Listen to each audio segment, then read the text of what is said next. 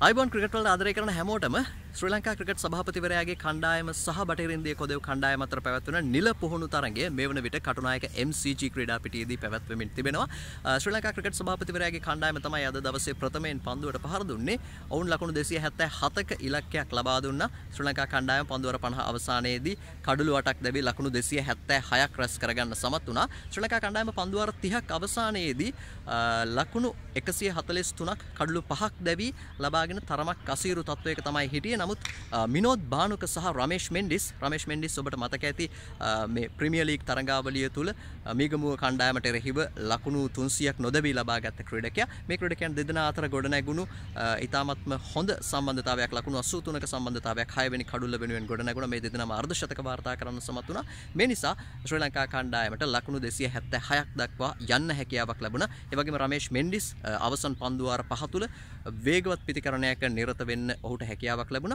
අවසන් පන්දුවාර පහ තුලදී ලකුණු 50ක් ලබා ගන්න ශ්‍රී ලංකා කණ්ඩායම සමත් වුණා. ඒ අතර තවත් විශේෂත්වයක් අවසන් පන්දුවාර දෙකේ පන්දු 16ක් ක්‍රියාත්මක කරන්න බටහිර ඉන්දිය කොදෙව් පන්දු යවන්නන්ට සිදු වුණා.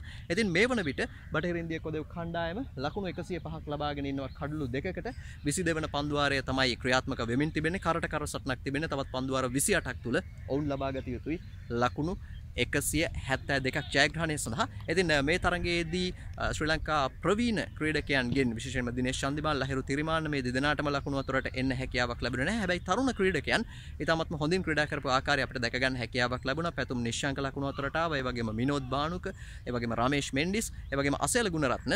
කලින් තරගේදි වගේම මේ තරගේදීත් ඉතාමත්ම හොඳ දස්කම් දැක්වා ඉතින් අපිට බලාපොරොත්තු තියාගන්න පුළුවන් අපේ ජාත්‍යන්තර තලයට මීළඟට යන්න ඉන්න තරුණ ක්‍රීඩකයන් සහ අසයලගේ පුනරාගමනය ශ්‍රී ලංකා කණ්ඩායමට ඉතාමත්ම වැදගත් වෙනවට කිසිම සැකයක් නෑ ඉතින් මේ දේවල් පිළිබඳව අපි කතා කරමු.